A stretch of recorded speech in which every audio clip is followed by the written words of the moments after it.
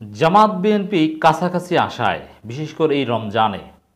রাজনীতিতে যে সমীকরণ তৈরি হয়েছে, তাতে আওয়ামী লীগ কী করবে, আওয়ামী লীগ কীভাবে বিএনপি জামাতের যৌথ চেষ্টাকে ঠেকাবে, সে নিয়ে বিশ্লেষণ গবেষণা শুরু হয়েছে। এটা জামাত বিএনপি কাছাকাছি আসায় রাজনীতিতে যে চমৎকার প্রভাব পড়েছে তার প্রমাণ। দর্শক, আমরা বিশ্লেষণ করছি চার এপ্রিল চব্বিশ। বিভিন্ন গণমাধ্যম নিয়ে লেখালেখি শুরু হয়েছে, বিভিন্ন বিশ্লেষণ শুরু হয়েছে। আওয়ামী লীগ নেতাদের মতামত চাওয়া হচ্ছে যে বিএনপি জামাত কাছাকাছি এসেছে। এখন আওয়ামী লীগ কী করবে? আওয়ামী লীগের পরিকল্পনা কি? আওয়ামী লীগ ঠেকাবে কীভাবে? যেমন ইত্তেফাকের একটা রিপোর্ট, জামাত আন্দোলনে নামলে কি করবে আওয়ামী লীগ? এর মানে আসলে সত্য কথা ইত্তেফাক বা সবাই উপলব্ধি করতে পেরেছে ইটস ট্রু সাত জানুয়ারির আগে, আঠাশে অক্টোবর থেকে হোক, আর দুই হাজার বাইশ সাল থেকে কিংবা একুশ সাল থেকে হোক আসলে দেশে ওই অর্থে জোরালো কোনো আন্দোলন, আওয়ামী লীগকে চিন্তায় ফেলার মতো কোনো আন্দোলন বিএনপি করতে পারেনি। কারণ কি? এই ইত্তেফাকের এই রিপোর্টের শিরোনাম দেখলেই বোঝা যায়। জামাত আন্দোলনে নামলে বিএনপির সাথে। এর মানে বিএনপি জামাত দূরত্ব ছিল বলেই আওয়ামী লীগ নিশ্চিন্তে ছিল। আওয়ামী লীগের বড় একটা প্রজেক্ট ছিল এবং এটা ভারতও চেয়েছিল ভারতের ভারতের দালাল যারা রয়েছে বিএনপির মধ্যে, ভারত এই বিষয়টায় খুব প্রায়োরিটি দিয়েছে। তোমরা যা করো জামাতকে কাছে নিও না। জামাতের সাথে একসাথে আন্দোলন করো না। সরকার এবং ভারত মিলে বিএনপিকে এই আমলটা অজিফা হিসাবে করাতে বাধ্য হয়েছিল যে সকাল সন্ধ্যা বিএনপির লোকজন রিমেম্বার করতো যে, না, আর যা করি, ভারত এবং আওয়ামী লীগের প্রেসক্রিপশন অনুযায়ী জামাতকে সাথে নিয়ে আন্দোলন করা যাবে না। তাতে আঠাশে অক্টোবর মার খাই আর আন্দোলন ব্যর্থ হোক, আর সাত জানুয়ারি ডামি নির্বাচন করে ক্ষমতায় আসে আসুক, যাই করুক, জামাতকে সাথে নিয়ে জোরালো কোনো আন্দোলন করা যাবে না। এই নামকাও আসতে তথাকথিত ছয়জন, সাতজন লোক নিয়ে হরতালের মিছিল, এতেই যথেষ্ট। জামাতকে নিয়ে আন্দোলন করা যাবে না। কারণ জামাতকে নিয়ে আন্দোলন করলেই ভারত খেপে যাবে, আওয়ামী লীগের মধ্যে দৌড়ঝাঁপ শুরু হয়ে যাবে। দেখেন, বিএনপি জামাত যৌথ আন্দোলন দুই হাজার চোদ্দ সালে নির্বাচনের আগে কিন্তু ঠিকই করেছিল। করেছিল বলেই চোদ্দ সালে ক্ষমতায় আসলেও খুব নরম হয়ে ক্ষমতায় আসতে হয়েছিল। ভারত নোংরা হস্তক্ষেপ করতে বাধ্য হয়েছিল সুজাতা সিং এসে। এবং বলতে বাধ্য হয়েছিল যে এটা নিয়ম রক্ষা নির্বাচন। মিড টার্ম ইলেকশনে আশ্বাস দিতে বাধ্য হয়েছিল। কিন্তু চোদ্দ সাল নির্বাচনের আগে বিএনপি জামাত যতটা ঐক্যবদ্ধ ছিল, চোদ্দ সাল নির্বাচনের পরেই সে ঐক্যে ফাটল ধরে। মানে ভারত আওয়ামী লীগ বিএনপি জামাতকে দূরত্ব তৈরি করে দিতে বাধ্য পেরেছিল, যার ফলে মিড টার্ম ইলেকশনের চিন্তা ভাবনা থেকেও সরকার সরে এসেছে। নিয়ম রক্ষা নির্বাচনের কথা বলে ঠিক পাঁচ বছর পূর্ণ করেছে। বুঝতে পেরেছেন দর্শক, আসলে বিএনপি জামাত জোটের ইতিহাস মানে সফলতার ইতিহাস। দিস ইজ ট্রু কিন্তু যখনই বিএনপি জোটের হক আদায় করতে ব্যর্থ হয়েছে, তখনই বিএনপি ব্যর্থতায় পর্যবেসিত হতে শুরু করেছে। দু হাজার ছয় সালের আঠাইশে অক্টোবরেই মূলত বিএনপি জোটের হক আদায় করতে ব্যর্থ হয়েছে। তারপর থেকেই ব্যর্থতার ব্যর্থতা ব্যর্থতার ব্যর্থতা। কিন্তু দু হাজার এক সালে জোটের হক আদায় হয়েছিল, সফলতা। এটাই হচ্ছে বাস্তবতা।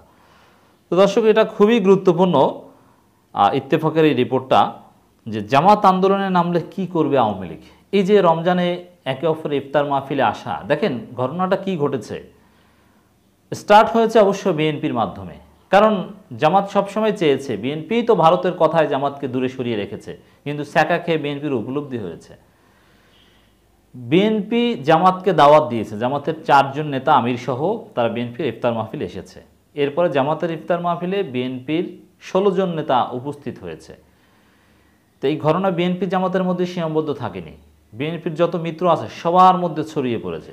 আরও দুইটা ঘটনা ঘটেছে। বিএনপির প্রায় সমস্ত মিত্র ভারতের দালাল ছাড়া এবং আওয়ামী লীগের দালাল ছাড়া সবাই জামাতের সাথে মিশেছে, জামাতকে ইফতার মাহফিলে দাওয়াত দিয়েছে, জামাতের ইফতারে গিয়েছে। আই রিপিট দালাল ছাড়া। এমনকি আর এক আওয়ামী লীগের দালাল চরমোনাই সিস্টেমে বিএনপি বা বিরোধী বলয় থেকে ছিটকে পড়েছে। তারা কোথায় উপস্থিত থাকল, কি থাকল না, এটা নিয়ে কোনো আলোচনাই হচ্ছে না। জামাত ইন, দালাল আউট। এটা রাজনীতিতে নতুন হিসাব নিকাশ তৈরি করতে পেরেছে। গণ অধিকার পরিষদ জামাতকে দাওয়াত দিয়েছে, জামাতের সেক্রেটারি জেনারেল সেখানে উপস্থিত হয়ে জোরালো বক্তব্য দিয়েছেন, ঐক্যের ডাক দিয়েছেন। এছাড়া শুধু রাজধানীতে না, রাজধানীর বাহিরেও এলডিপি আরও বিভিন্ন রাজনৈতিক দল, বিএনপির ঘনিষ্ঠ মিত্র যারা, তারা জামাতের বিভিন্ন মহানগরগুলোতে, চট্টগ্রামে, সিলেটে বিভিন্ন জায়গায় তারা বিএনপির ইফতারে এসেছে জামাত তারা জামাতের ইফতারে এসেছে, জামাতের ইফতারে তারা গিয়েছে। মহানগর পর্যায়ে কিন্তু এরকম যাওয়াজের ঘটনা ঘটেছে। আমাদের কাছে যথেষ্ট তথ্য আছে। শুধুমাত্র গণতন্ত্র মঞ্চের কিছু যে ভারতের দালাল আছে, এমনকি কারও কারও হাতে এমন ঘা লেগেছে, তারা রাগ হয়ে বিএনপির ইফতার মাহফিলেও আসেনি, জামাত এসেছে তাই জন্য সেজন্য। তার মধ্যে একটা হচ্ছে দুইটা দল বলি। বিপ্লবী ওয়ার্কার্স পার্টি, এই বামদের সাথে এই যে বিএনপি নেতা মিন নাসির, চট্টগ্রামের বিএনপির ভাইস চেয়ারম্যান কেন্দ্রীয়, তিনি বলেছেন যে বামদের দিয়ে বিএনপি হবে না। বিএনপি হবে ডানপন্থী এবং মধ্যমপন্থীদের সমন্বয়ে। ইসলামপন্থীদের সমন্বয়ে মধ্যমপন্থী বিএনপি হবে। দ্যাটস ট্রু আমরা দেখেছি জামাত, বিএনপি বা ইসলামপন্থী এবং ডানপন্থীরা মোটামুটি এক টেবিলে বসেছে। বামপন্থী বিপ্লবী ওয়ার্কার্স পার্টি তারা বিএনপির দাওয়াতেই আসেনি। ভাসানী অনুসারী পরিষদ তারাও তো বাম। ভাসানী তো লাল মরনা ছিল, বাম ছিল। আসেনি। তাহলে বুঝতে পেরেছেন যে জামাত, বিএনপি কাছাকাছি আসায় দালালরা ছিটকে পড়েছে বিএনপি বলয় থেকে। এবং আওয়ামী লীগ বলছে যে জামাতকে মোকাবেলা করা হবে। এর মানে জামাত বিএনপি আন্দোলন করবে, এটা এই খবর আওয়ামী লীগের কাছে যাওয়ার ফলে ঈদের পরে আন্দোলনে নামতে পারে একসাথে। এরকম খবর আওয়ামী লীগের কাছে যাওয়ার পরে আওয়ামী লীগ বলছে যে, না, তারা মোকাবেলা করবে। তারা নড়ে চড়ে বসেছে। ইটস ভেরি সিগনিফিকেন্ট দর্শক। অতএব বিএনপি জামাত কাছাকাছি আসা বা একত্রে আন্দোলন করার সম্ভাবনা তৈরি করা মানেই আওয়ামী লীগের চাপে ফেলেছে, আওয়ামী লীগকে চিন্তায় ফেলেছে। এটাই রাজনীতির বাস্তবতা। এটা সাত জানুয়ারির আগে জরুরি ছিল। যাই হোক, দেরিতে হলেও হচ্ছে, হোক। তবে এবার যে বিএনপি জামাত কাছাকাছি আসা বা এক প্ল্যাটফর্মে এমনভাবে আন্দোলন করা যাতে বিএনপির শক্তি এবং জামাতের শক্তি একত্রে মিলিত হয়ে এক এক এগারো হয়, এক এক দুই না থাকে এবার সেভাবে হবে।